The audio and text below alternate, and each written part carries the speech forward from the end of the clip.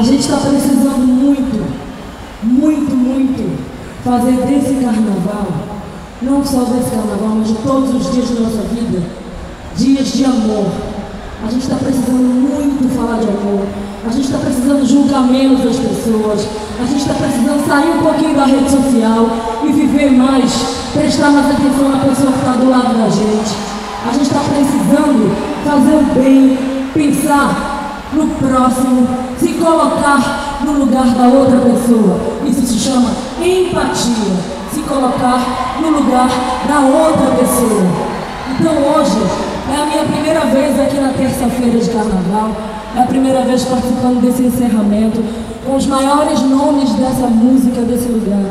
Eu estou muito feliz de estar aqui e eu preparei esse momento muito especial para a gente jogar o bracinho lá em cima, todo mundo. Pensa na pessoa que você ama, pensa naquela pessoa que está precisando dessa luz, pensa no nosso país que está precisando muito dessa luz e vamos cantar muito amor. Solta o som! Mãozinha lá em cima! Energia positiva!